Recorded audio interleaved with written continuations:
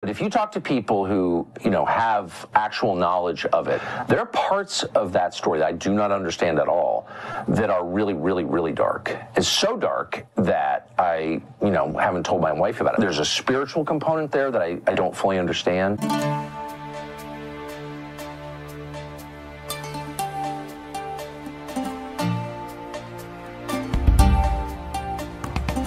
Welcome to part three of the special presentation with Father Dr. Joseph Iannuzzi entitled The Vatican and Extraterrestrial Life.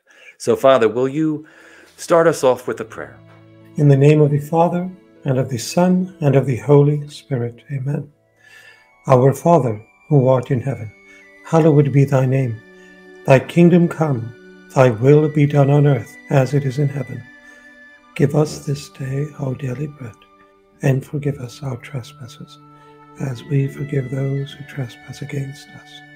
And lead us not into temptation, but deliver us from evil. Amen. In the name of the Father, and of the Son, and of the Holy Spirit. Amen. So, Father, in this part three of this special presentation, we asked you to go over a systematic exotheology expounding upon the creation of angels, extraterrestrials, humans, and other forms of life. So let us, in this field of speculative theology, attempt to unravel the mysterious meaning of why they're here, why they exist, why God created them. Are they in some way related to the operation of good and evil by grace or by sin? What is their place in the interaction with this earth and with mankind?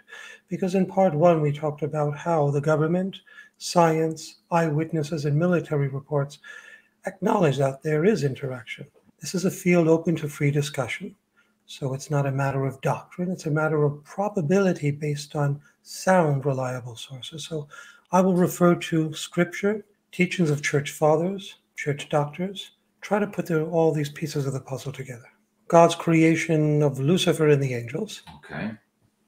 And then we'll move from that to the rebellion of the angels, to the creation of man, the sin of man, original sin of man and woman, to its impairment on the human nature of all of us through conception, to the incarnation of Christ, his work of redemption, resurrection, sending forth of the Holy Spirit, to finally the outpouring of the gift of the restoration of this primordial holiness that both Lucifer and Adam enjoyed before sin making a full circle of this talk.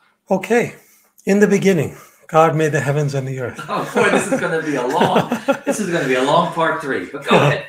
Yes, in the beginning, God created the heavens and the earth, and He separated the two the immaterial from the material, the metaphysical from the physical, the tangible or the empirical from the non tangible, the non empirical, the uh, a posteriori from the, post, from the a priori, and the list goes on.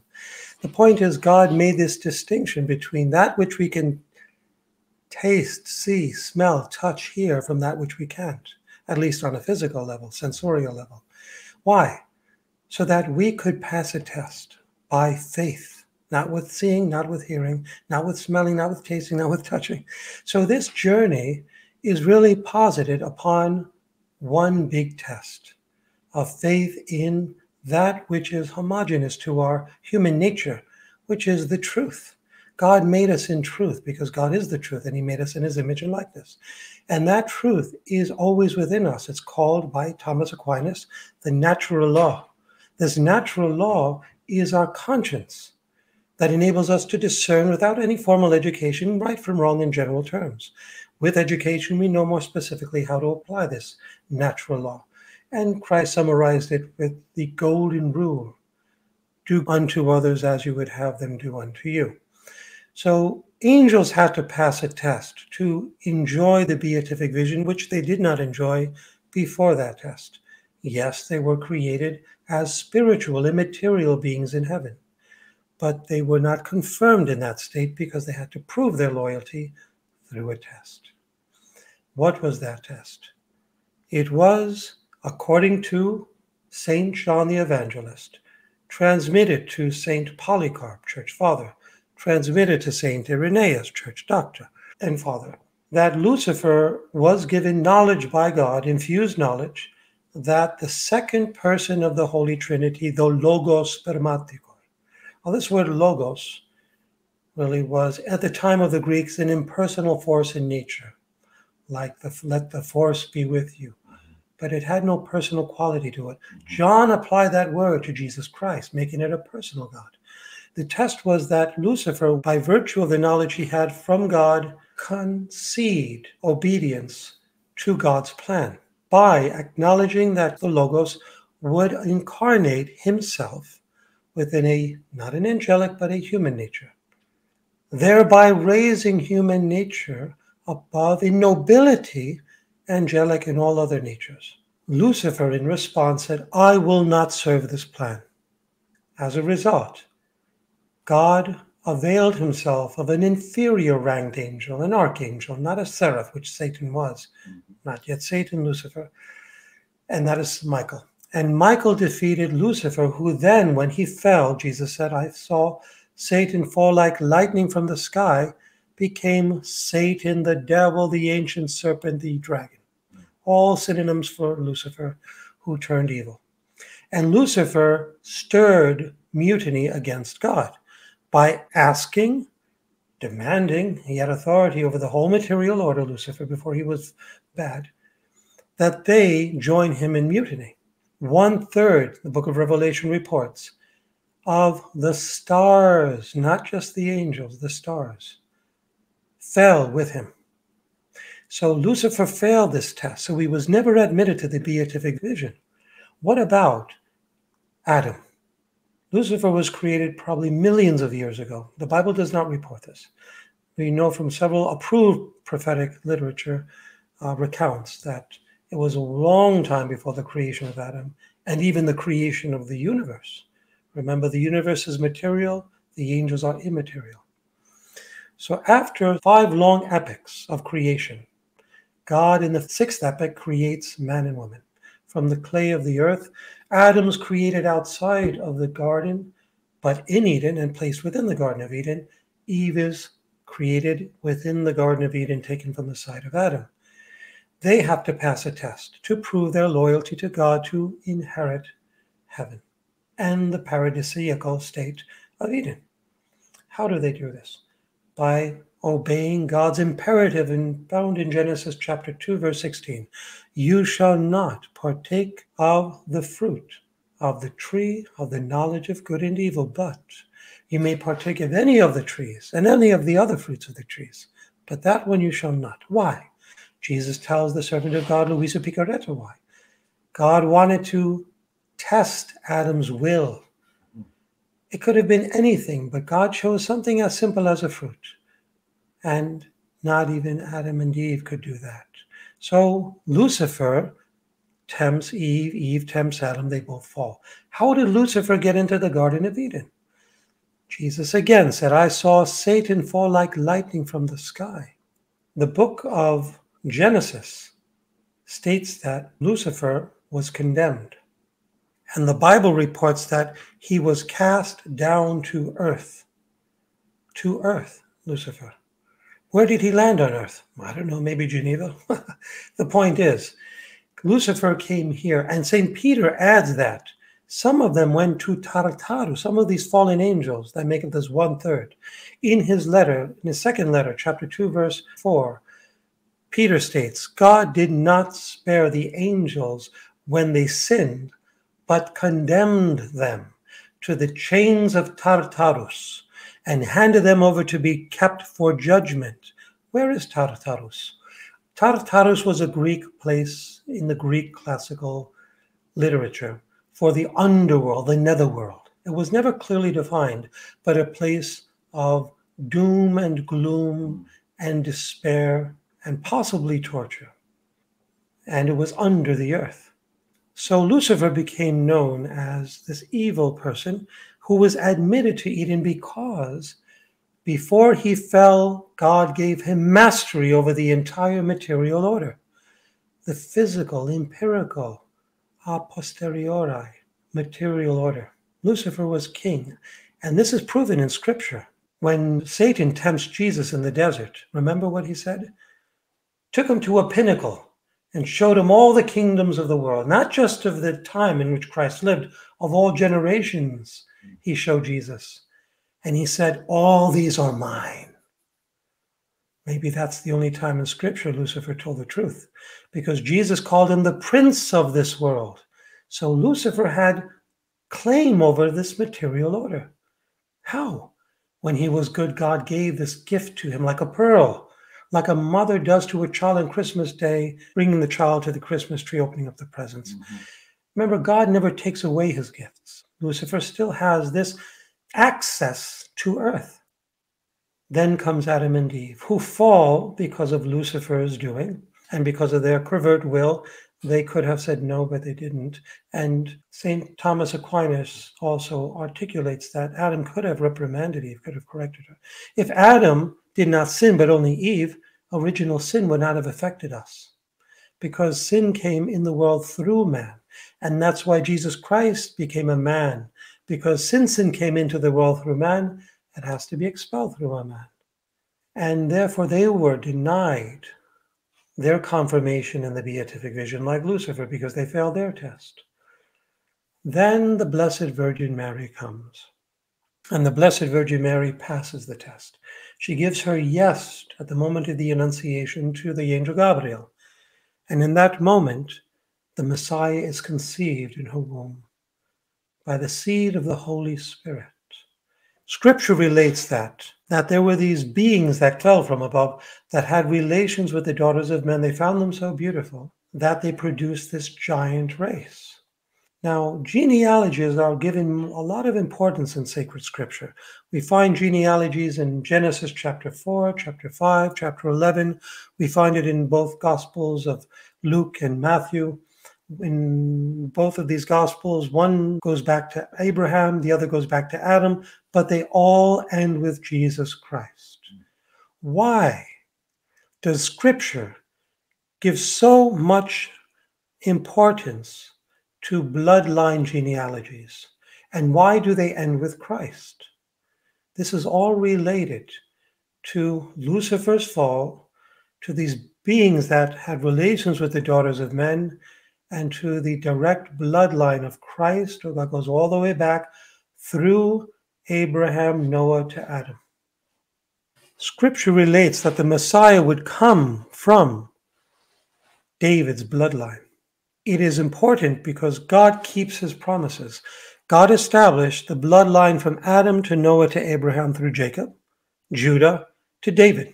And in the New Testament, as I noted, there are two genealogies and they both end with Christ. Because once Christ accomplished the incarnation in human nature, he has forever sealed the human nature as the crown and the glory of all creation. I mentioned in part two that even though the angels surpass us in spirituality and intellectuality, God, because of the incarnation, raised us above them in nobility I mention this in detail, quoting from Luisa's writings in part two of this series.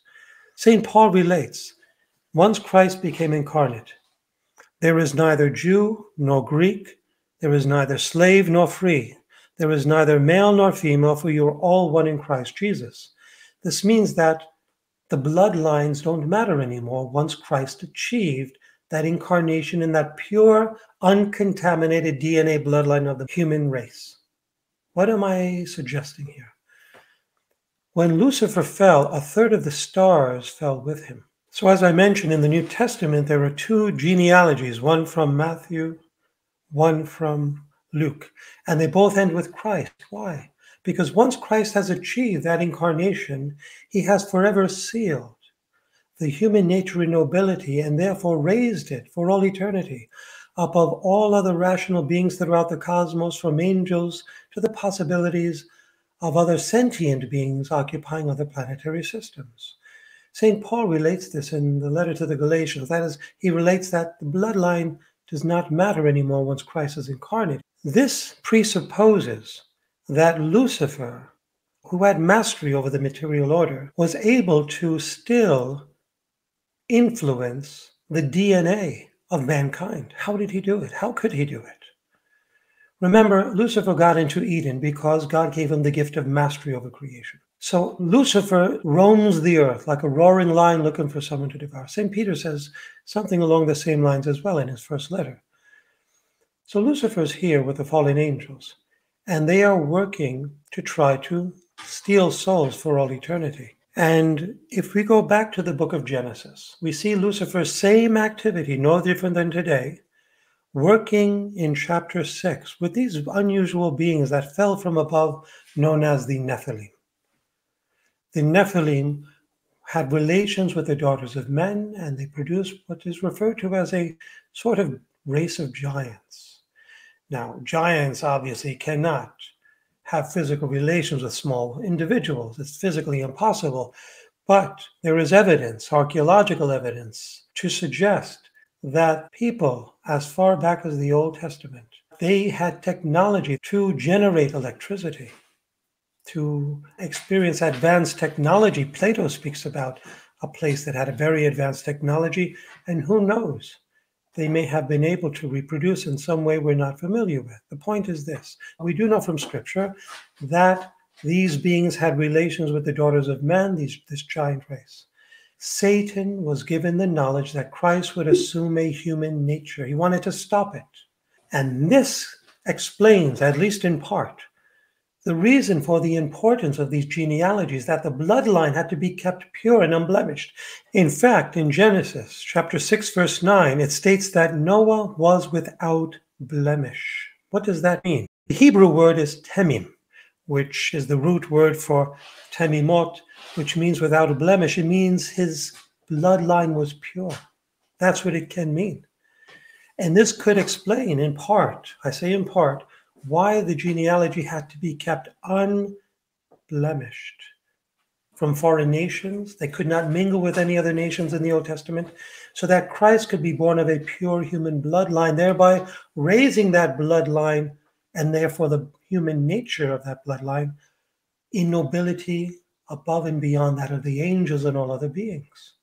When we look at it from that perspective, from the speculative theological perspective, we see that this bloodline goes from Adam, 10 direct descendants of the bloodline to Noah. From Noah, 10 direct descendants of the bloodline to Abraham, and then on and on and on to Christ. And when once Christ is incarnate and he accomplishes that mission, as St. Paul says, there's no more Jew, Greek, slave, freeman. Again, this is not doctrine, this is not dogma. The church allows the speculative theology to explain many mysteries of the Bible, and this is a very probable explanation for these mysterious passages and personages in the Old Testament.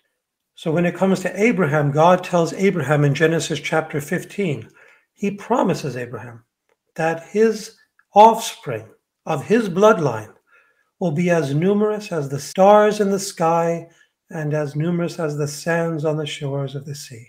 Why would God promise it just to Abraham's bloodline? If not, because he was a direct descendant of that human bloodline of Noah to Adam, 10 direct descendants. So there's this continuity kept by the Aaronic priesthood that could only be received by inheritance. The Old Testament priesthood could only be received if you were in that bloodline. And that priesthood that Christ gives to us today with the sacramentology of the Catholic and even Orthodox faith, we all have seven valid sacraments, is not the end of the priesthood. It's still a voyage toward that perfect priesthood, which is a full circle back into Eden, the Adamic priesthood. Adam had the plan A priesthood that did not require blood sacrifice, as did the Aaronic priesthood, as does the Christian priesthood. The Aaronic priesthood offered up animals. The Christian priesthood offers up the blood of Christ, the one lamb who puts an end to all animal sacrifice. But this isn't the end. The Catechism states that when Christ comes back in the flesh, all the sacraments will cease because he contains them all. We don't need them. We're with him. And what does he do? he restores to us the same holiness and priesthood, which is part of that holiness that our first parents enjoyed before sin. This is called the Adamic priesthood in the paradisiacal state of innocence. What was the offering Adam and Eve offered up as priests? Remember, they were not priests in the ordained ministerial Petrine sense of the word. No, they were more priests in the common sense of the word. These are adjectives from the Second Vatican Council. Ministerial priesthood reserved only for priests because of the original sin of Adam, who was a man, and Christ, who undid the sin of man, who was a man, and the common priesthood, which is accessible to all men and women. Adam and Eve enjoyed this common priesthood in the Garden of Eden. What was their gift and sacrifice? The letter to the Hebrews says that all priests are separated from others to offer up gifts and sacrifices. Well, what is the gift and sacrifice of Adam and Eve? It was the human will. They never did their own will, they sacrificed it, held it always up to God. And what was their gift?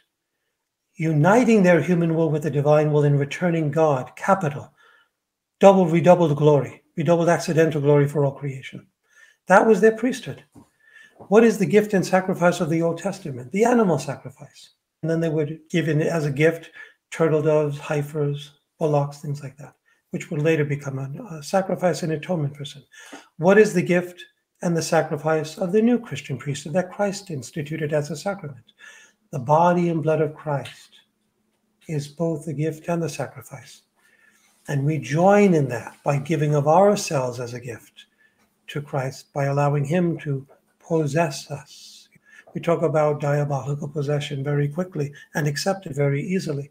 But have we ever thought about divine possession? It's real.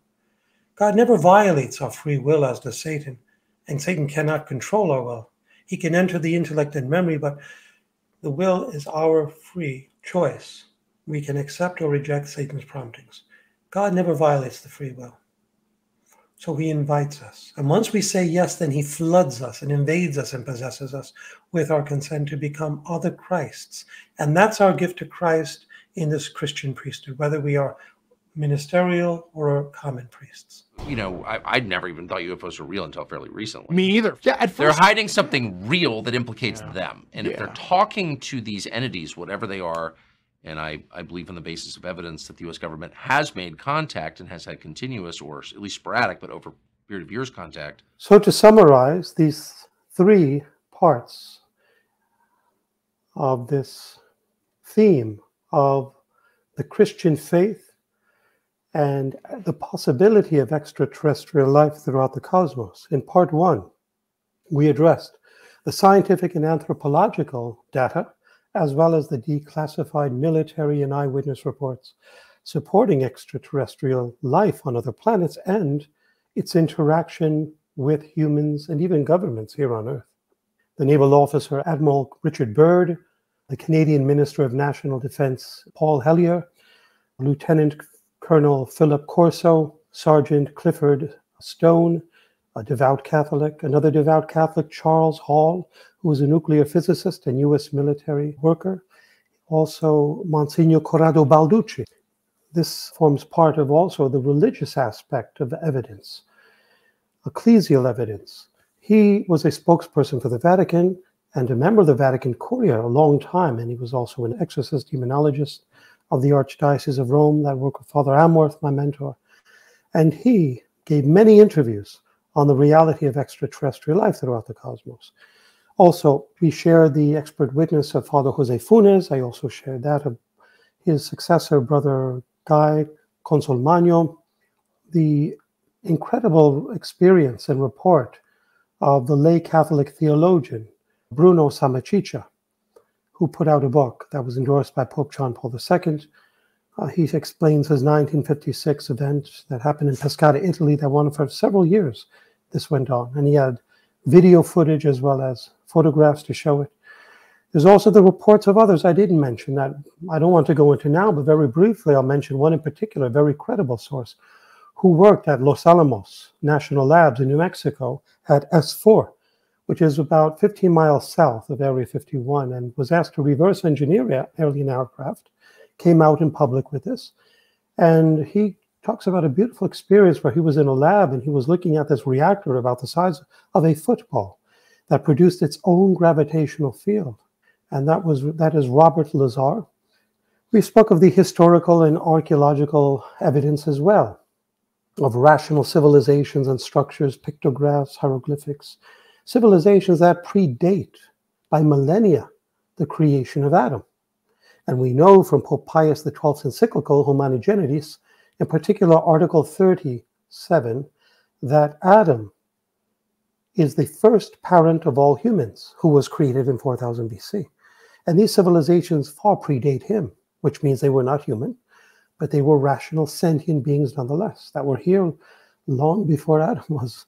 And this is also testified to in the mark God put on Cain, so that no one would harm him, suggesting that others were there at the time that could harm him. Then we addressed in part one as well the biblical evidence Genesis, how God was created Adam, and then the Nephilim appear in chapter 6 in Genesis as well as in Numbers 13. And these race of giants, known as also the Anakites and the Emites, to support the archaeological data. And then there was the hagiographic evidence that I addressed when I spoke of writers in the Catholic faith that talk about life throughout the cosmos physical rational life, like Blessed Anne Catherine Emmerich, Saint Padre Pio Pietrelcina, Saint Pope John 23rd, who had a personal visitation, as testified by Cardinal Capovilla in 1961 at Castel Gandolfo. And Pope John Paul II referred to these alien space beings as our brothers. Pope Francis addressed the issue of whether or not we should baptize aliens it's, there's a lot more weight to this than, than I realized, you know, a lot more uh, cover up than I realized. Some of the buildings were, were very tall, spherical and domed buildings, spherical and domed buildings uh, that were very large. It's interesting because I tried to relate them in my own mind to, to structures here on Earth, and they, they don't compare to anything that you see here. In part two, we address the ancient Greek classic scholars as well as the patristic, scholastic, and contemporary theologians who spoke of the possibility of extraterrestrial life. I mentioned how Hippolytus of Rome spoke of Epicurus and Lucretius, who supported the idea of extraterrestrial life. I also spoke of Aristotle as well as Aquinas, Father John Buridan um, of the University of Paris, Father Joseph Pohle, Bishop Nicolas Oresme, the 1277 condemnation of the Bishop of Paris, Etienne Tempier, and William Vorilhon of the 14th century, the French philosopher and theologian, who was the first author to have raised the question on whether or not the plurality of worlds can be reconciled with the incarnation and redemption of Jesus Christ. And he affirmed that it, they can be, that Christ in one incarnation and one redemption has redeemed the whole cosmos. And Paul corroborates this when he states that Christ reconciled all things in heaven and on earth. I spoke of also Nicholas of Cusa, the 15th century German Catholic cardinal, who was also a philosopher and theologian. And he also, in his work, De Docta Ignorantia, talks about the possibility of not just other worlds, but many, many other worlds in which rational sentient beings live and thrive and how they were not affected by original sin as we were. Padre Pio made that statement. Vorilhon made that statement. Um, Padre Pio made that statement in similar terms. It suggested, it suggested in the writings also of Nicholas of Cusa. And then I addressed Saint Hannibal di Francia, who spoke of Christ creating many worlds. And then Jesus Christ himself reveals to the servant of God, Luisa Piccarreta, of whom St. Hannibal di Francia was the confessor appointed by her bishop, that God could create thousands and thousands of worlds. In part three, we addressed how God created the material and the material orders, the material and the immaterial orders, and how the angels of the immaterial order, led by Lucifer, were put to a test of loyalty. One third failed that test. One third that had fallen in Revelation chapter 12, verse 4 states stars.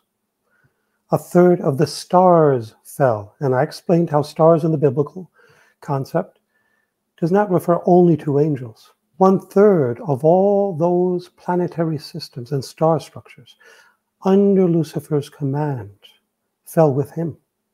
Remember, as I mentioned in parts two and three, Lucifer was given command over the entire material order. And when he fell, a third of all the material order fell with him and its inhabitants. It's, it's a very plausible teaching. And I emphasize throughout parts one, two, and three that we are here dealing with not dogmatic theology, not with doctrine, but with speculative theology, meaning this is a matter open to free discussion. I refer to in parts two and three to the biblical meaning of stars, comprising one third of not just the angels, but all rational, sentient beings of the cosmos that fell with Lucifer. And this may explain the millions of reported traumatic events of alien abductions, many of which are also published by Dr. David Jacobs. He studied over a thousand cases of people that have claimed to have been abducted. And this phenomenon of alien abduction, I've come to understand after having spoken myself with abductees is not a myth or a theory, it's a reality. And we have to come to accept it. Millions of people will not be lying throughout the world over decades and centuries. This has been going on for a long time. And one person I will share that I had spoken to briefly is a woman from British Columbia, Canada. And she shared with me how her mother, she, her daughter were all abducted. And I did send her in the mail some holy water, holy exorcised water, exorcised oil, and things like that, because these things do stop these abductions. There's another report of Dr. John Edward Mack. He died recently. He was a Harvard PhD professor who interviewed and clinically studied individuals who were abducted and published two books in 1994 1999 on the trauma that accompanies these abductions. Now, these are related, in my opinion, to this one third that fell. And then you have, of course, the two thirds that are good, the majority. And these are the ones of whom Clifford Stone speaks and Philip Corso writes about and so forth. After Lucifer fell, Adam fell. He, unlike Lucifer, was a material being, and he failed to pass the test of loyalty to God. And how God preserved unblemished the human bloodline, so much so that the Aaronic priesthood could only be inherited priests of the Old Testament had to all come from one common and pure human bloodline. Man was made greater in nobility to the angels by virtue of the incarnation of Christ, and how Lucifer was given knowledge that Jesus would incarnate himself, not within an angelic, but within a human nature, thereby raising human nature in dignity, not in knowledge, but in dignity above the angels. Uh, there is a connection, therefore, between Satan's rebellion against God's plan of becoming a human and not an angel, and these unusual beings in chapter 6 of Genesis, the Nephilim, who appear on the scene and have relations with the daughters of men. And I mentioned how these Nephilim produced a giant race. In the same chapter 6, a few verses later, it emphasizes how Noah was pure genetically.